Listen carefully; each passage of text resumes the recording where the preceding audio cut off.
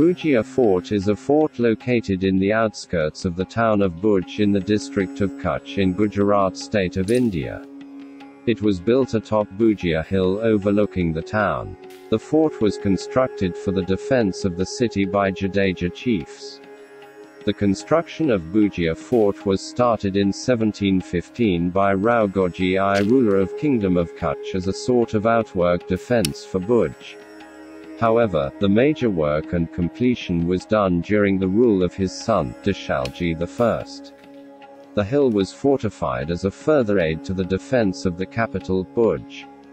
Devakaran Sheth, Dewan of Kutch during Deshalji I took the lead in fortifying the hill. The fort has seen six major battles since its construction, most of which were fought in the years 1700 to 1800 AD between the Rajput rulers of Kutch and Muslim raiders from Sindh and the Mughal rulers of Gujarat.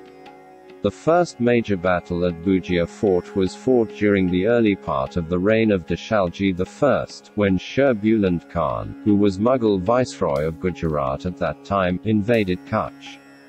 The army of Kutch was in a precarious condition, when a group of Naga Bawas got the gate of Bhujia fort opened through a stratagem on pretext of visiting Nag temple for worship and then joined in the fray against Sher Buland Khan's army, putting them to flight. Since that day Naga Bawa and their leader have had a place of importance in a procession held on Nag Panchami. The British Colonel William Coir took over the fort in 1819, when Kutch accepted the suzerainty of the British.